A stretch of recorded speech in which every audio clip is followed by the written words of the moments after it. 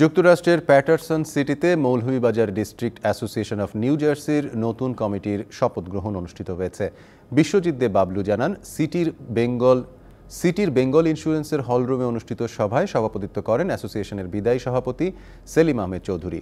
বিদায়ী সাধারণ সম্পাদক মোহাম্মদ মহসিন সেলিম পরিচালনায় অনুষ্ঠানে বক্তব্য রাখেন। সংগঠন বোর্ড অফ ট্রাস্টির সদস্য সৈয়দ জুবায়ের আলী, আবুল হোসেন সুরমান, আবু সুফিয়ান তরফদার, মাহমুদ মোহাম্মদ মাসুম চৌধুরী মোহাম্মদ মইনুল ইসলাম সহ আরও অনেকে।